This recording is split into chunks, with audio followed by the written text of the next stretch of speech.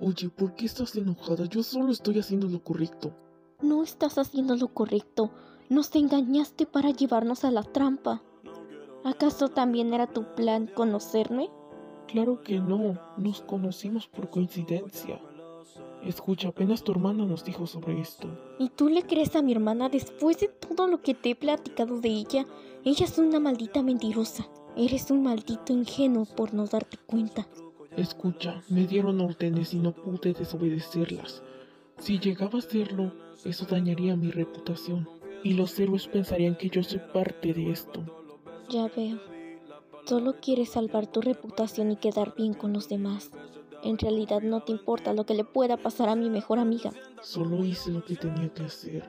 Escucha, puedo hacer que te ayude a... No, no quiero más de tu tonta ayuda. Eres una hipócrita. Me molestan mucho las personas hipócritas. Por favor, déjame ayudarte. No, capaz si también me entregues a la policía. Voy a sacar a mi amiga de la cárcel sin tu ayuda.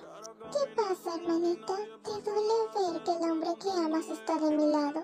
Cállate, o si no te voy a romper el hocico. ¿Ves? Siempre mami no sé.